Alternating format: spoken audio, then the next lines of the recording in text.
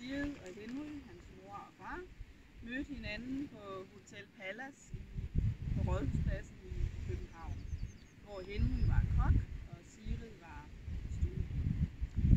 Og øh, Leif øh, blev født på fødeklinikken, som, som lå på Svineryggen. Det har bedstemor altid gået og sagt, han blev født på Svineryggen.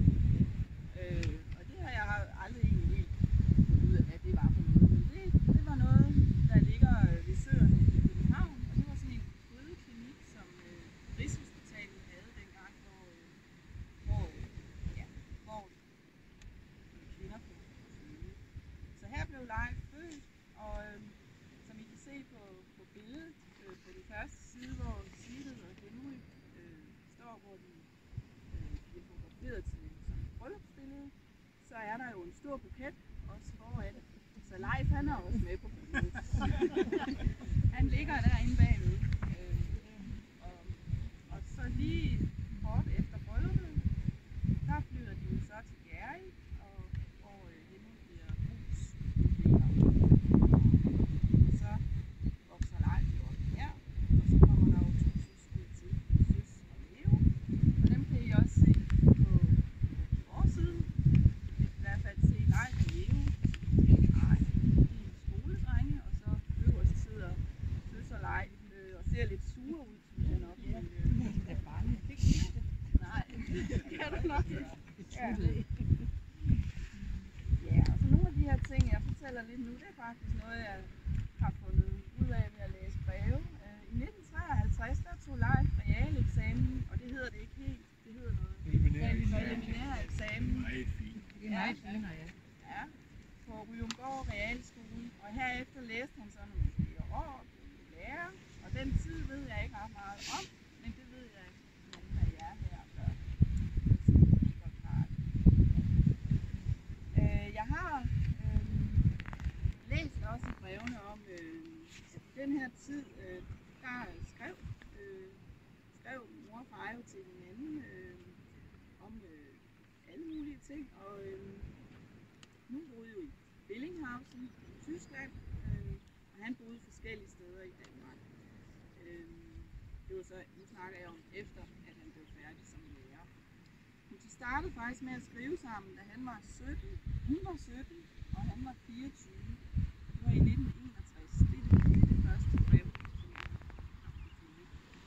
Og noget af den tid, vi ser på side 2, der er der nogle billeder, som Asger og jeg har, har fundet i album, som han har skrevet op den her vej.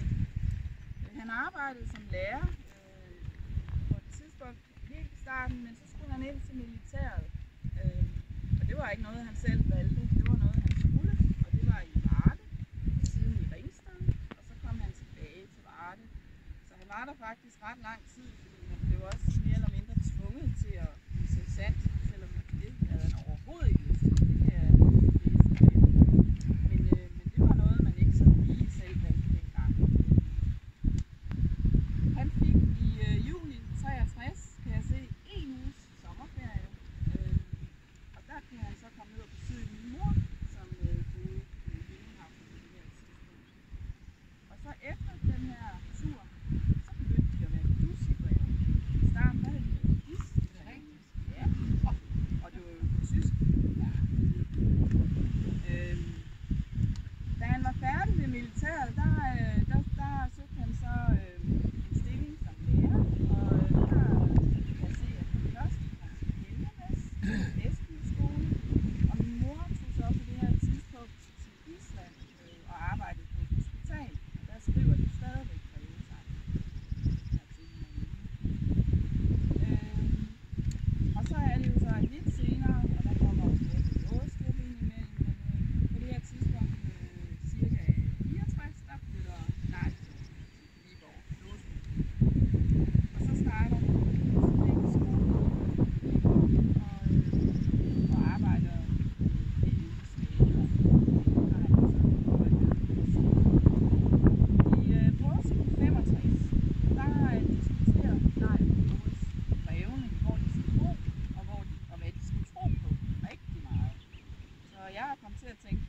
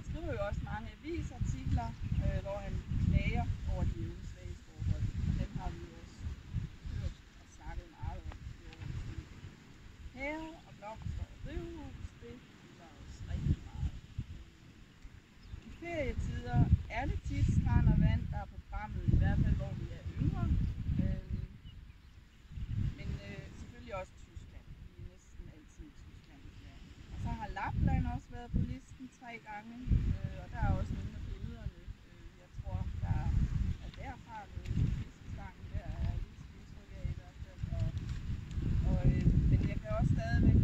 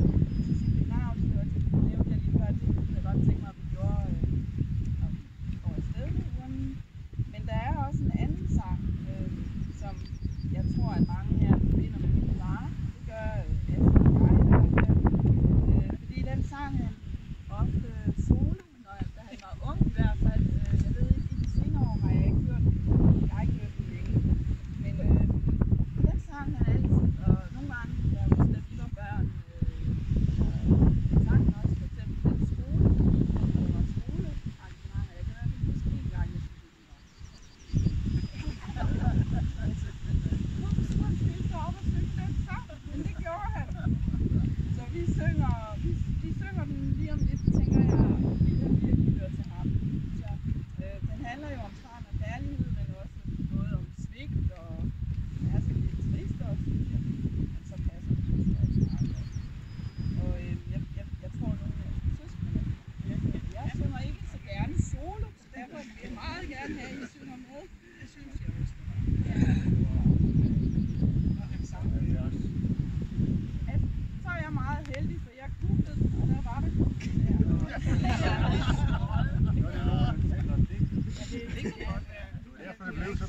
Yeah.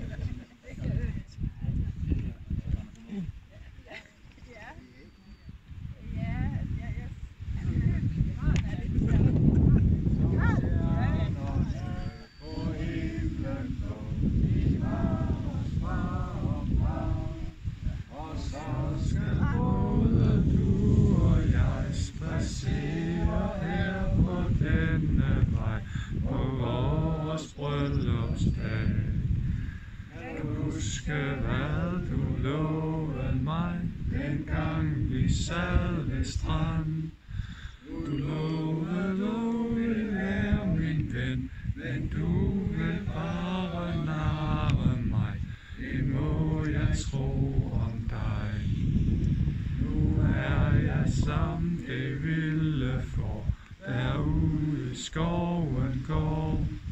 Og jeg har hverken far eller mor, ej nogen ven på denne jord, der trøster mig et ord.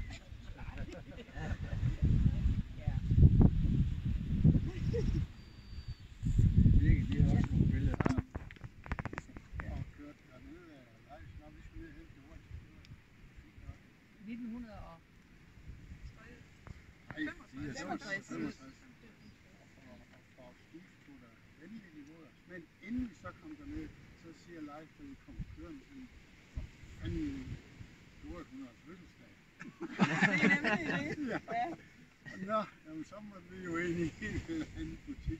Det var jo ikke i bil, det var i bilfødsel. Nej, det er også ligegyldigt. Vi kommer ind i butikken, og Leif går